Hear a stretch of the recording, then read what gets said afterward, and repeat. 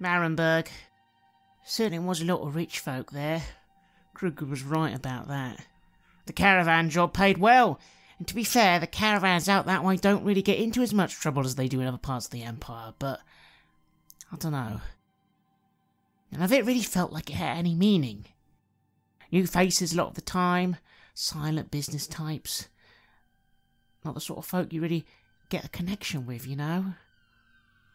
I thought about going on a ship a few times, sailing away, seeing the world.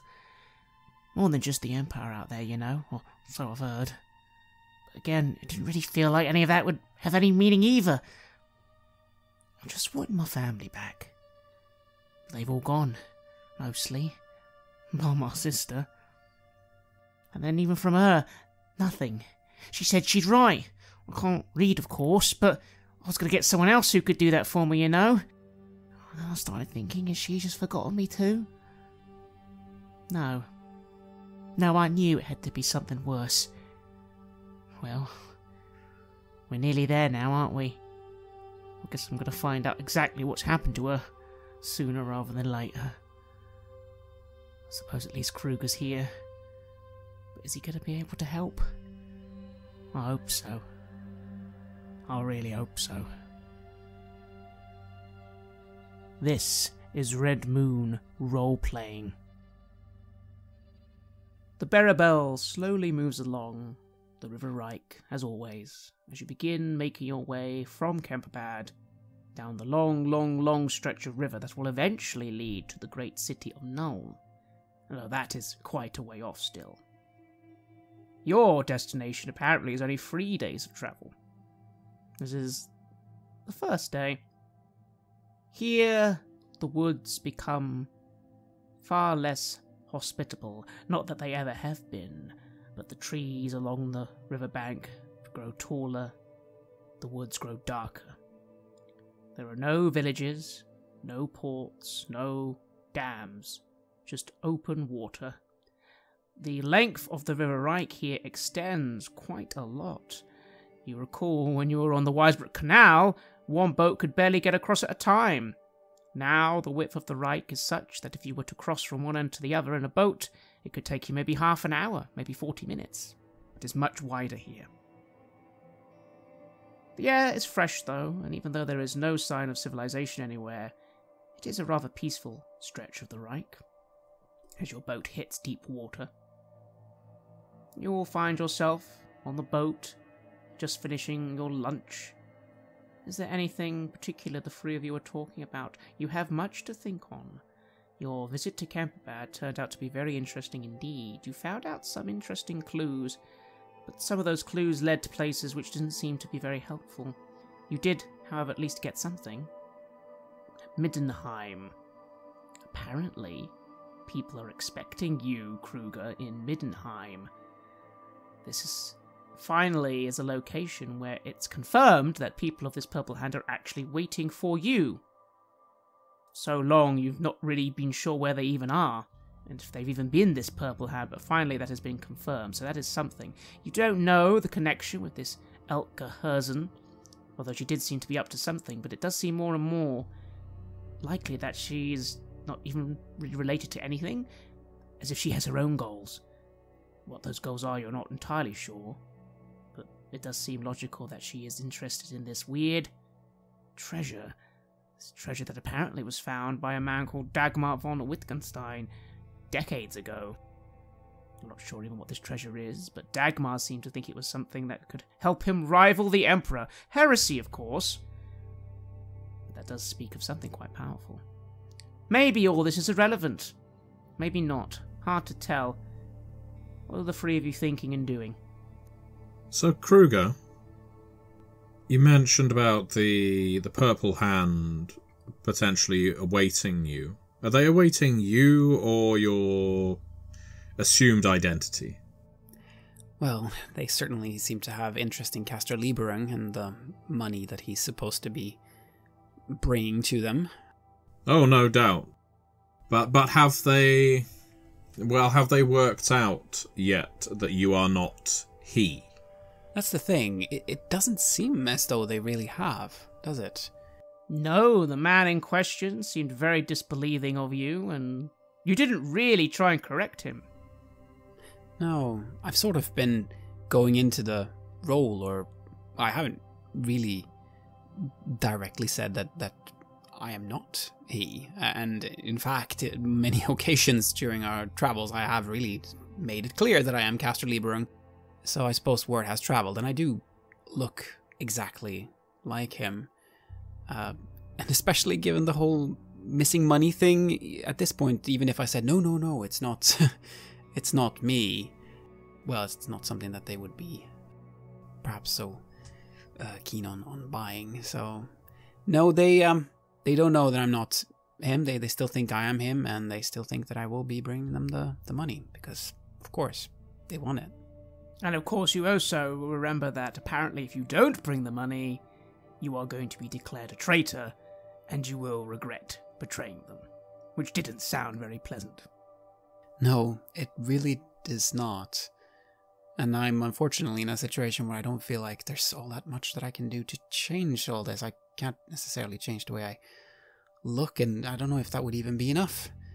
I mean, they really want what I'm supposed to be bringing them, and they seem to have ways of finding people.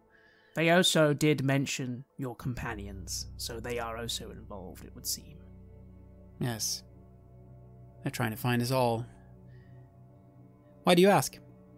Well, you know, it's good to establish what we believe the enemy knows, uh, assuming that this group is an enemy, and I think they've given every indication that they are. The thing I'm wondering, we at this point, we can assume not only are the Purple Hand looking for for you and us as a sort of ancillary detail. Uh, there's this Herzen woman, and she has now seen two of us at least, uh, but not you. Uh, as we stood in front of her tower during our small reconnaissance expedition. So we are fast losing, if we ever had it, the benefit of, I guess, subterfuge. Uh, I I feel like the agents of our enemies are going to know know us wherever we go, I'm afraid so. which could make things extremely awkward. At some point, we will have to do something about this. We'll have to either stop them or or convince them that we're not who they're looking for. There is one odd thing, though, that does occur to you, Heinrich. It's very odd that if they were all working together, then why did Lady Herzen and even that man on the boat seem very surprised to see you? And according to Kruger, they were watching you and they have your descriptions. That seems like an odd thing for people who are working together to not be sharing information. It's occurred to me there might be some degree of infighting, or at the very least, people aren't keeping up with the notes being passed around at the monthly meetings. But I also don't pretend to understand how any of this works. From the very beginning, if you'll recall, in the carriage, my plan was to let the two people who are either more savvy or more intelligent than I handle those details, and I would just cut the people who got too close meanwhile. I still think that's a pretty good way to go through this. I mean, you do have a very good rapier and a pistol now, so maybe, maybe. I've held up my end of the bargain. One thing that could work to our benefit, if we can somehow pull it off, and I'm still wondering if there is a method of doing so, is to turn our enemies against each other. Right now, I don't think uh, that they are working directly alongside each other, and for all we know, Herzen doesn't see us as an enemy. All we know is she did have something to do with what happened in Bogenhafen, uh, even if it was only from a remove, and that she is searching for this fallen star that von Wittgenstein was so intrigued by all those years ago. I can't imagine she's looking for it for any good or noble reason, uh, especially given just the manner with which she carries herself, if if I can make such an assessment at face value. At some point, as I say, we our paths are going to cross with one or both parties.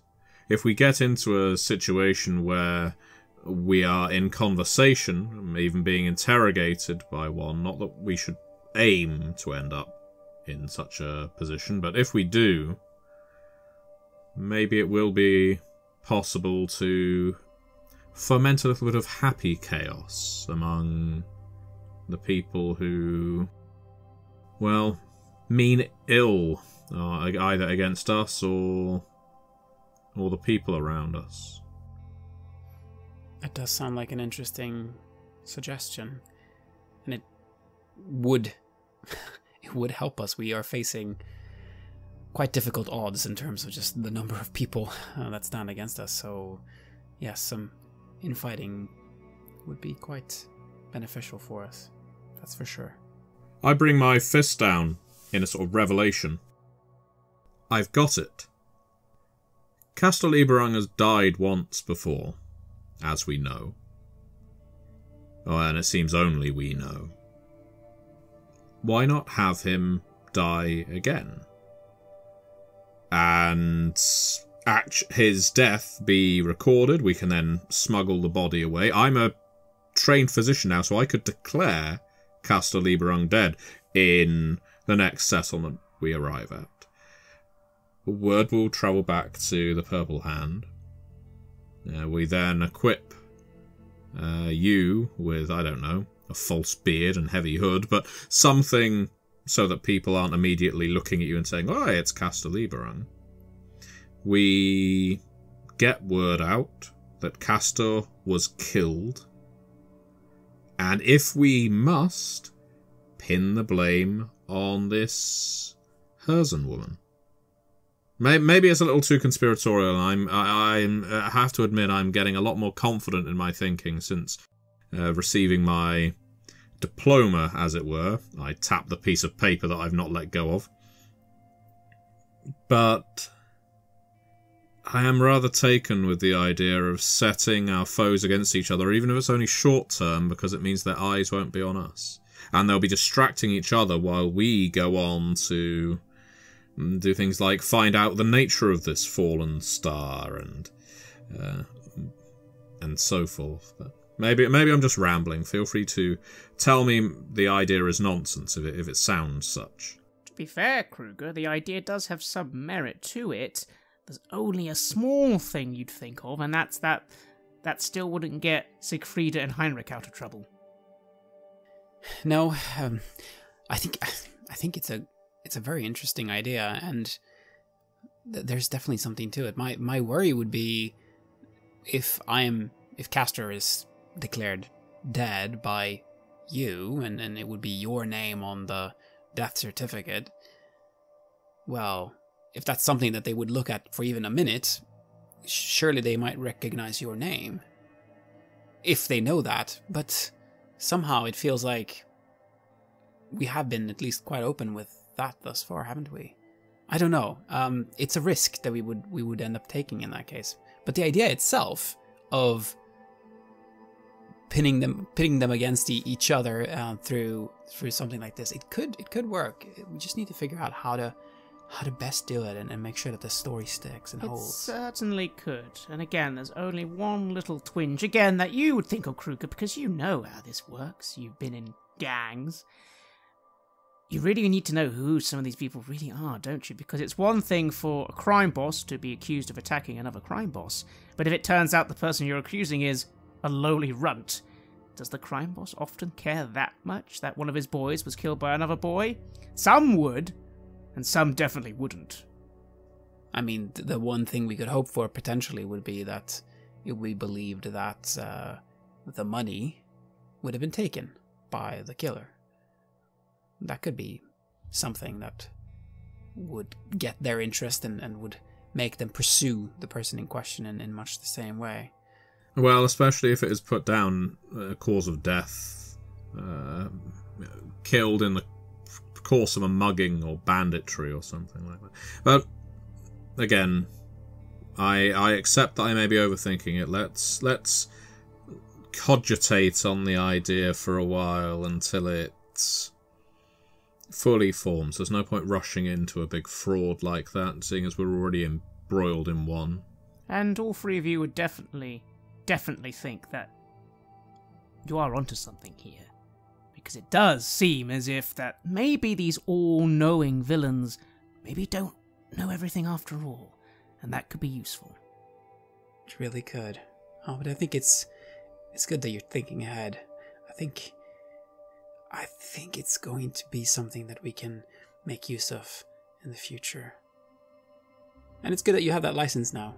I'm really looking forward to see what how that can help us going forward. I say with a smile. Well, I hope to use it for more legitimate reasons than this, but uh, in the end, Castor Lieberung really is dead. It wouldn't technically be a lie to declare it as such. Totally true. It would be a very legitimate thing to do. Uh, fully legal, I say. and what's more, he did die in a bandit attack. Indeed. You're just telling the truth. That's all.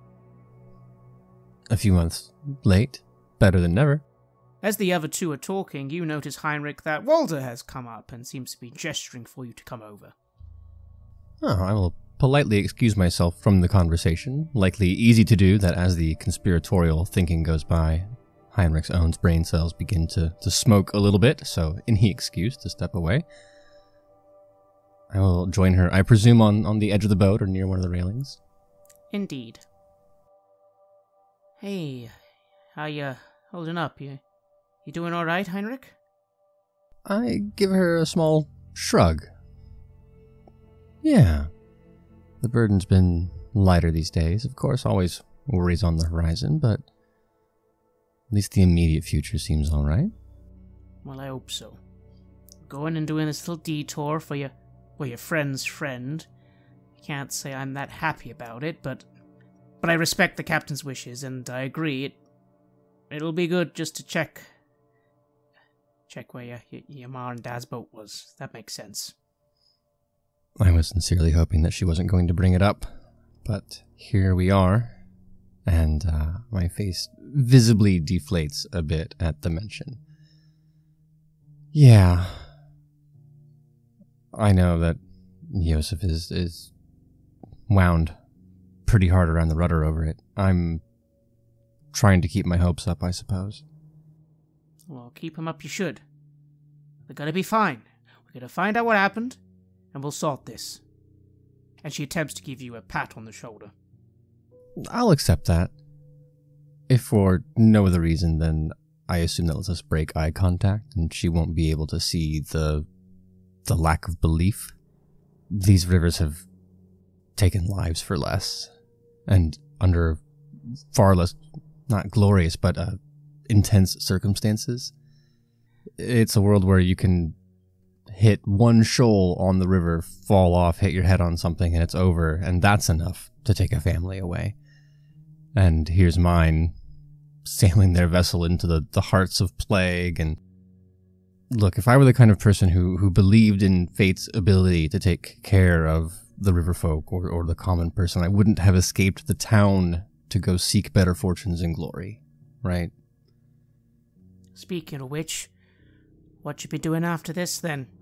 We do this little errand thing, and then well, we're probably thinking of heading back round Altdorf and then maybe on to Marienburg. But uh, well, uh, what what you thinking of doing? All this stuff of hunting down miscreants. Are you going to become a bounty hunter now, or something? I think by now I've demonstrated that my ability to think more than a few days in the future isn't exactly my strong suit, but uh, things that we've been running into, the the people, it's all. Uh, I went and and sought dueling instruction because I imagined that the greatest conflicts amongst men happened in in courts of law and courts of honor. Stories of, of emperors on crusade and, and counts putting down the ignoble among them. And it turns out that, yeah, that happens, but God, is, and the news is often as not, it ends in, in fratricide as opposed to something else. There is, I have come to see, uh, a certain banal, diffuse evil in the world. And that sometimes the greatness that keeps this this whole clockwork machine of ours running aren't grand armies or flashy duelists, but just one man or woman in the right place at the right time with the right pistol. Hmm. Well, I can't say that sounds like a very safe way of living your life, but I suppose the river's not exactly always that much safer. I understand. So I guess you'll be leaving us then. Which port would you like us to drop you off at? I could not say on my own. It relies so much, of course, on my companions. We are, at this point, nothing without one another. Aye, I get it. Well, I'm glad at least you've started being honest with us. Makes this all much easier. As honest as I can be, given the fluid nature of the situation. I've heard rumor of Wittgendorf, I've heard rumor of Middenheim. I suppose one of those things will come to be true. Hmm. He gives you another pat on the shoulder and just walks off, saying, Remember, the river will provide. The river will provide. Always remember that. But don't worry. We'll look out for you as long as we can. Hmm. And for that you will have my eternal gratitude. Meanwhile, Captain Joseph has ambled over towards you, Siegfrieda. He's carrying with him a bottle of something. Oh, hello, Captain. Aye, Siegfrieda, lass, how are you doing? Or I should be saying, Dr. Siegfrieda, right? Oh, well, I'm not. Uh, if you like. I, I, I, I, I realised last we, we, we headed off a little quick from Kemperbad. We didn't really have a moment to celebrate it. Congratulating. I heard from the others that you got your, your, your fancy, fancy guild membership, and I, well deserve it, well deserve it. So I thought, I thought, if, if, if you'd have a moment, I brought out some of the brandy. you drink brandy, right? yes, uh, and it's. Uh, yes, yes. Uh, I was talking about uh, putting some coin down to to get some fine alcohol with which to celebrate, but unfortunately we had to leave at some speed due to events uh, that don't bear going into right now. Um, so yes, I'll I'll have a brandy. That would be delightful. Thank you. And he will produce a little shot glass, one for himself and one for you, and give you some brandy. I will sip at it. I'm not a shot downer. Aye, aye, that's it, lass. That's it. You, you enjoy it. Again, I just wanted to congratulate you. In the time you've been on the boat, all I've seen is, well, well a, a good, hard-working person doing her best, and I'm glad that, by the sounds of it, you're finally going to get what you deserve. Well, I really do appreciate you saying so. You know, uh, I don't think any of us intended to be taking this voyage together, not li- nearly as for as long as we have, especially. And I I found this place the best home I've ever lived in. Uh, you you've never failed to make us feel secure in not only our transit but also in that we will reach our destination. So uh, but I, I, it probably doesn't need to be said, but if you were to ever injure yourself, Captain, or any of your crew, you would never have to uh, hand over a coin for, for medical treatment. It would be um, wh- whatever the ailment, I would treat it well, willingly and gratis. Uh, no doubt about that. Ah, that makes this captain very happy. No, lass, no, you're always welcome on the Berrybell. Always, always. I was wondering then, after we, we do this little detour, which I'm really hoping will be very, very, very short. Um, where we're going to be heading back round, probably Altdorf, and then maybe onto Marienburg. Uh, well, where, do you think you'll be wanting to go? You, you think you'll be wanting to find a town somewhere, or, or even go to the city and, and set yourself up or something? I'm not I'm not really sure how it works. I know in villages, you know, there's always a local doctor. Sometimes. Yes, but usually it's an apothecary, and uh, my, my calling is more towards surgery, which admittedly is uh, little practice as a sole medical field. Uh, you know, I do deal with medicine as well as as the cutting, but it is the it is the the, the field of anatomy, uh, knowing how to, I guess, pull it apart and put it back together again that truly holds my interest and to set up a permanent surgery uh, would require a city, I imagine. It's not even something I've given much thought to, Captain. Uh, quite honestly, I've uh, barely been able to look ahead of achieving my full physician's license. and guild membership and so on. And now that I have it, I guess I'm just feeling like, well, at least I can treat people legally now. Aye, I imagine that's a helpful thing. well, hey, hey, hey, no need to be thinking about things like that if they're gonna cause you stress. I, I just was curious. Whatever happens, we'll be taking you back to wherever you need to go. Well, I know, I know that uh, Wittgendorf and Middenheim are both. Uh, they, they uh, it's a destination that we would very much like to visit. Ha!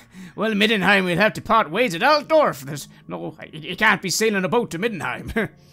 well, that that saddens me that we will have to part ways at that point. But um, rest assured that uh, we will remember this stage of our journey with incredible fondness.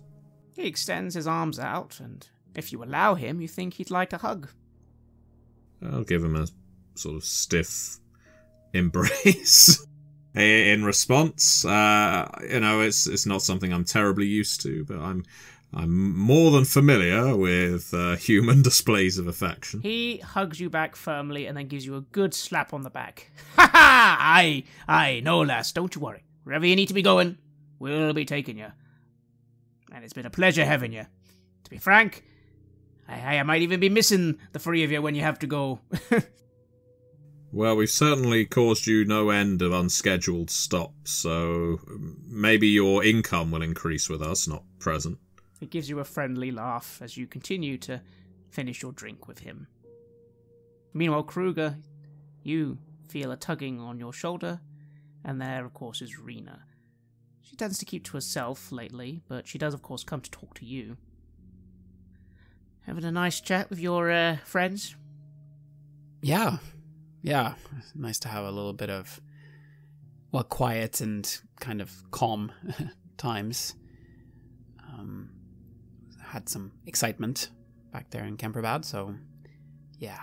Oh, I noticed you can't really seem to keep yourself out of it, can you? it's just too much fun, you know. But I must confess that I do enjoy the quieter times as well. What about yourself? Oh, I'm bored, she says as she sort of plays around with her daggers. Don't really like being on a boat. It's a bit boring. What do you do? Nothing to do on a boat. Not really. I suppose that's true. Fancy myself wanting to go somewhere, play some cards. I don't know. Maybe, you know, do a bit of gambling or something. I don't know.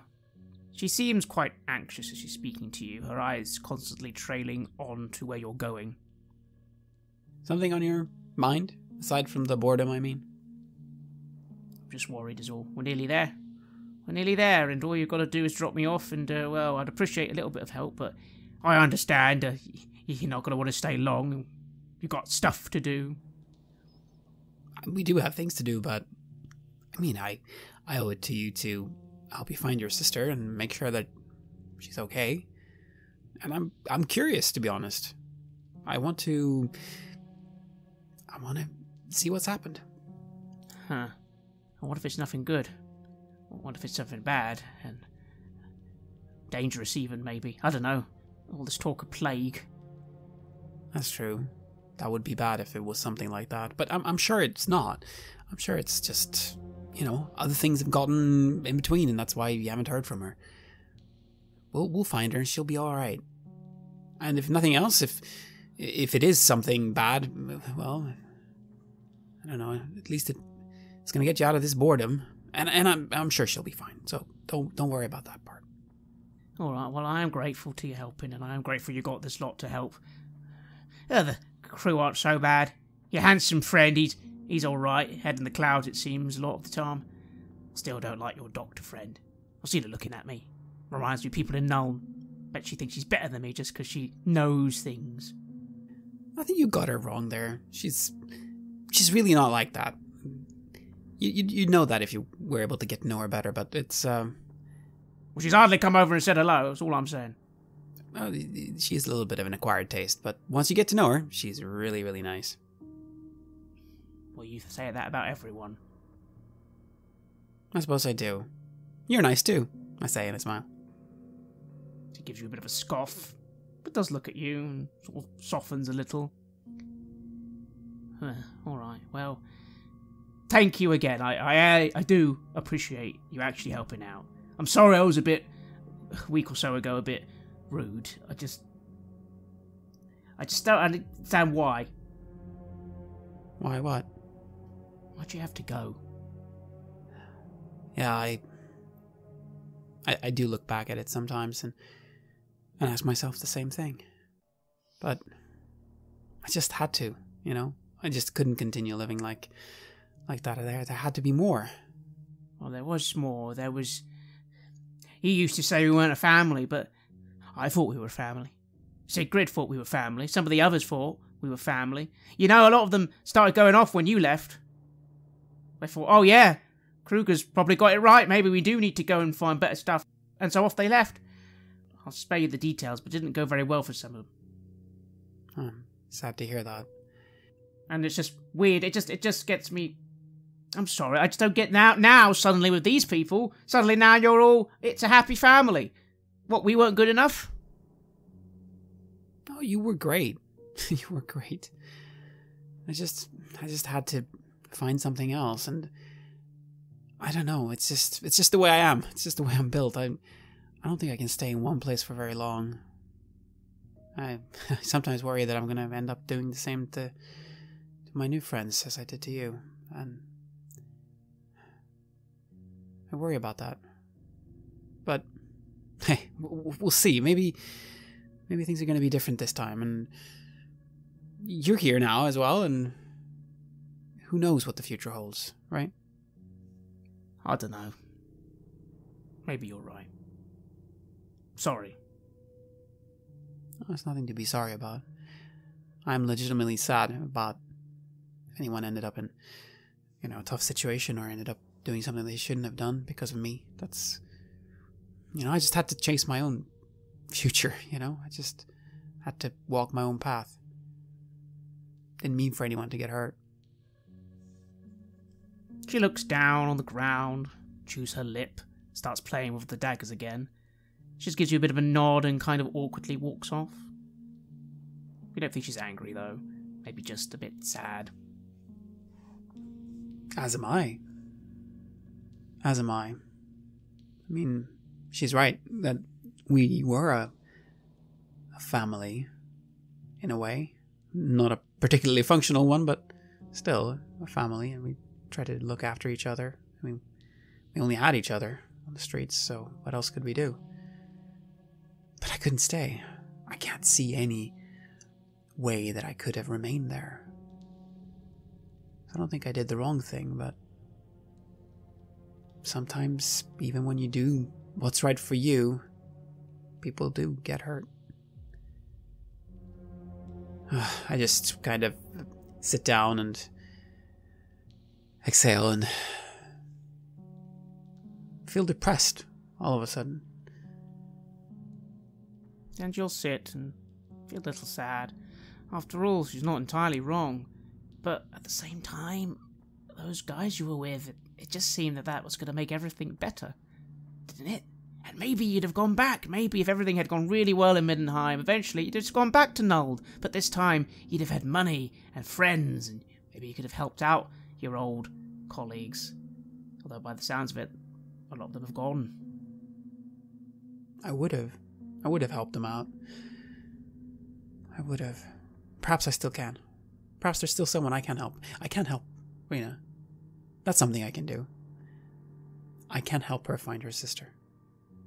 That will. That will do a little to help ease my guilt. Not much, but a little. It'll have to be enough. At this point, Grim comes over, and of course, he doesn't give you many words at all, other than to simply say, Change of force soon. Grab that rope. There's a good boy. I nod. And I do as he says. And you'll grab that rope and begin helping the boat begin to change its course as it starts drifting slowly closer to the western bank. And the day will come to an end, and eventually you will get some rest. You wake Kruger. You find yourself in a cramped, stony place. It takes you a moment to remember where you are. You're back in Middenheim, back in that little room you were renting out. It's dark. You can hear the sound of dripping. What do you do? I look around, get my bearings. Yeah. I'm here. Alright, I, I get up. What am I supposed to be doing? You stand up and try looking around. It's completely dark. Just the sound of that dripping. The blood. You can smell the blood in the air. This is a bad place. I'll follow the dripping sound. I'm drawn there. The room begins to light slightly. Someone's holding a torch. You turn and you see your old friend. The one who was running the gang, of course. Carter Shilf was his full name. Least you think it was. He often went by a lot of nicknames. He's smiling at you, his face covered in blood. His missing face, that is. That's right, it was cut off, you remember now. You've really been trying not to remember that detail, but all their faces you think had been removed. And there he is, but you know it's him.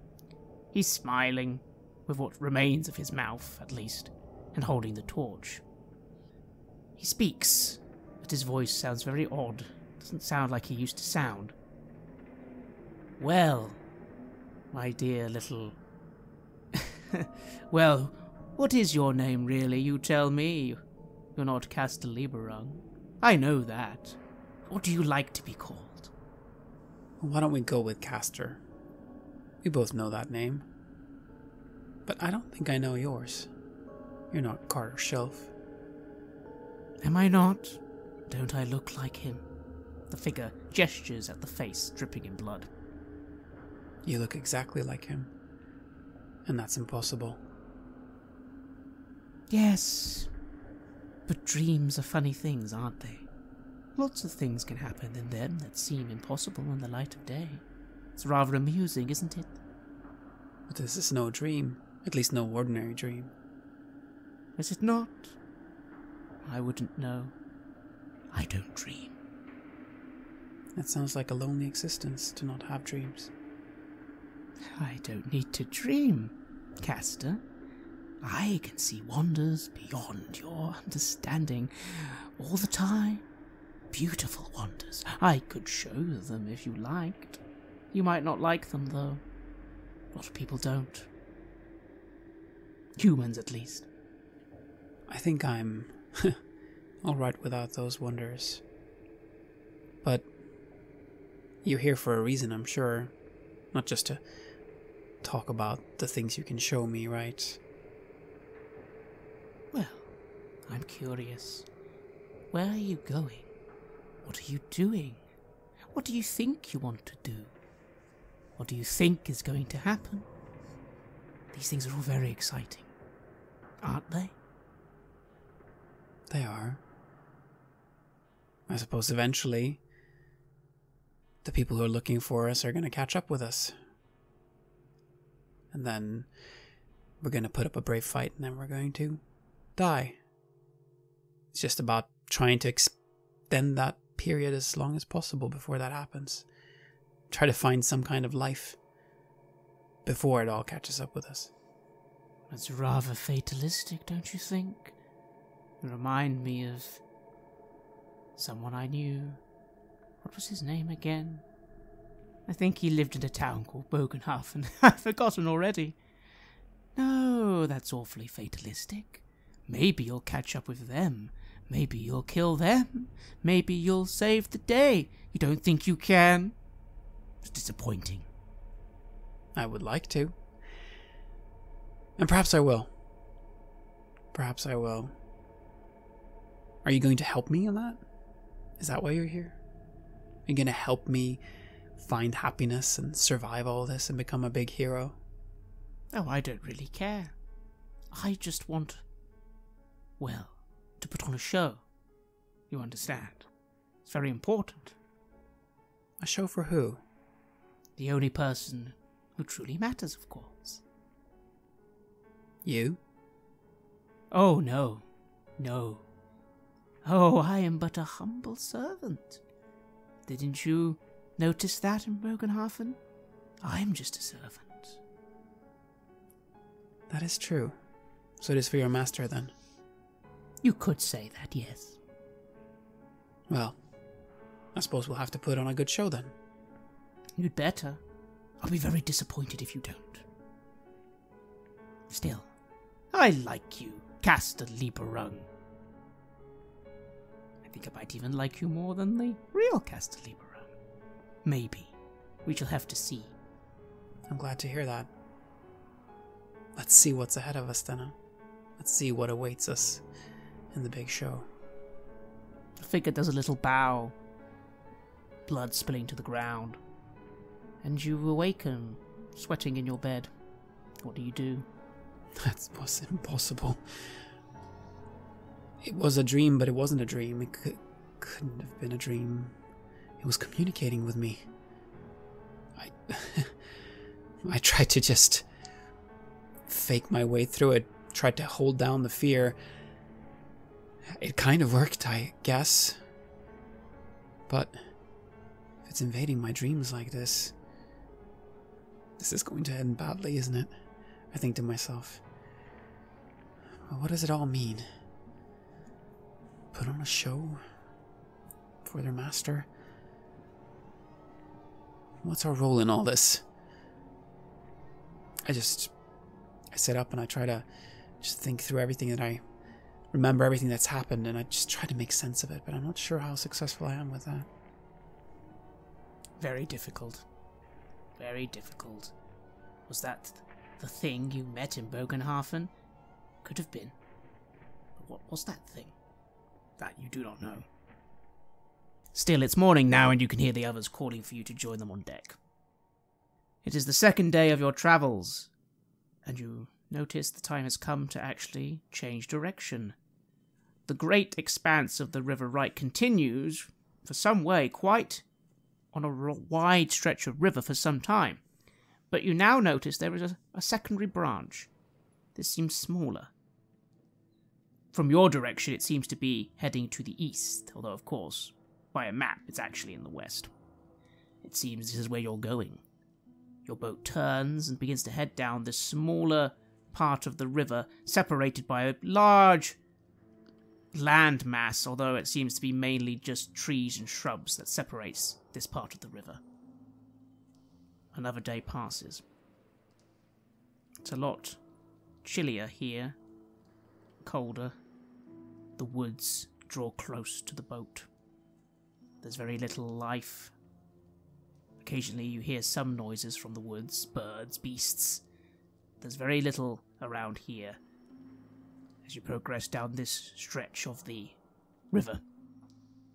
Around the third day, you begin to see something in the distance. Captain Joseph's at the front of the boat, making sure that the course is clear. You see a castle. Again, it's just to the east of you. Most of the castle seems to be up on land, and at this point, the land to the east has risen up dramatically, forming a great cliff. It seems as you look up that most of this structure must be on that side of the river, on that cliff very high up.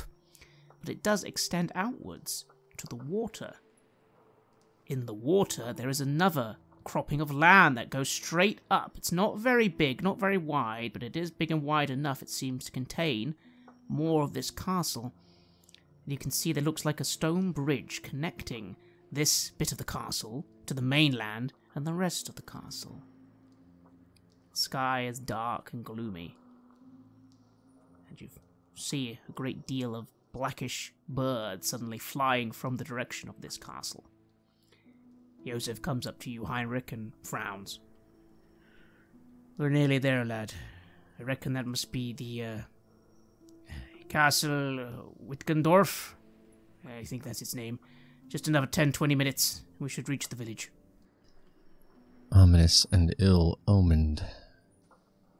Has it always felt this way? You've been here before. I ain't been down this way, lad, for, well, even before the plague. I maybe came this way 10 years ago. Once. Feels worse. How was this place before the plague hit it? Uh, was it ever a thriving village, or has it always been under this sort of pall of grey? I heard that many, many, many years ago, maybe a hundred years ago, it wasn't so bad. When I last came here, it was a hovel at best. Been avoiding it for years. The plague was the last straw, but even before that, not many people came down this way. Why would you? It's a slower route to Nuln, and they ain't got much to. Well, they didn't have much worth selling back then. Sigmar knows how bad it is now. Like I said, we, we drop off your friend, we, we make our inquiries, and then we, we, we should be getting off as soon as we can. Of course, that is the ideal. Sigmar knows of our curiosity and penchant for falling into things will allow it to be true. At that point, I'm looking between Siegfrieda and Kruger. I don't know if it just feels more ominous or if I've just talked myself into believing that. Oh no, no, your I think your feelings are valid. Uh, I look over at the castle, the crumbling ruins, the bridge, and, and the crows above our heads.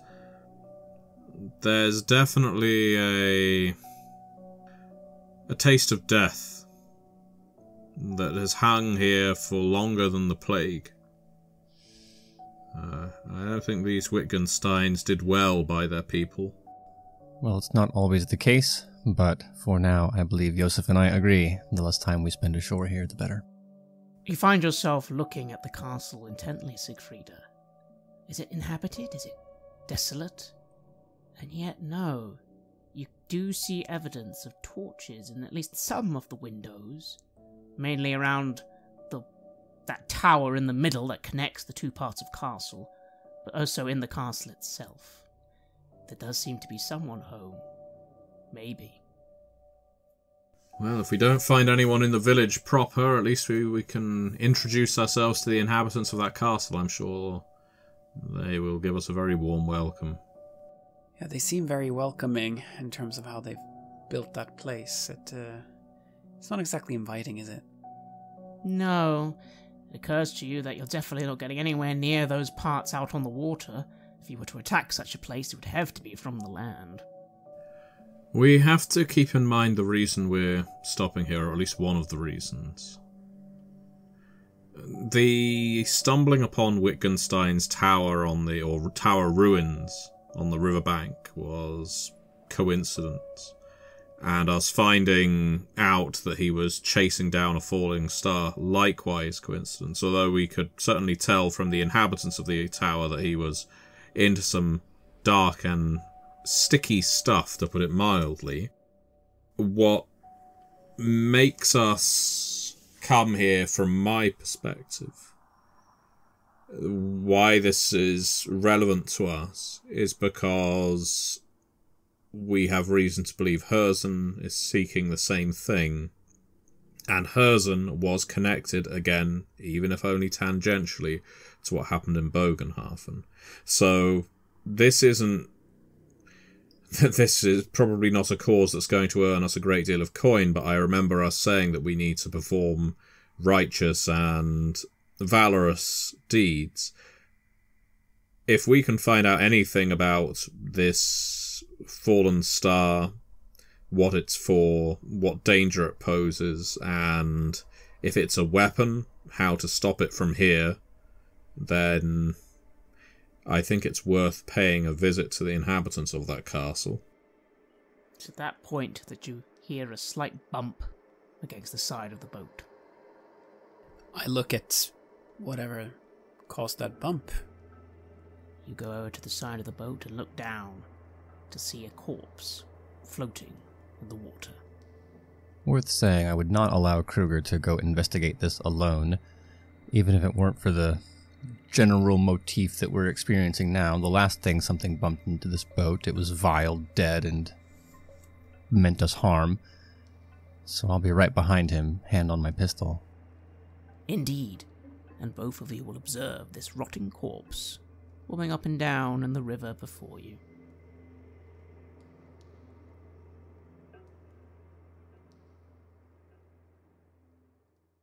You have listened to an episode of Red Moon Roleplaying, where we play the legendary campaign The Enemy Within for Warhammer Fantasy Roleplay 4th Edition, published by Cubicle 7. In the second part of the series, we are tackling Book 2, Death on the Reik.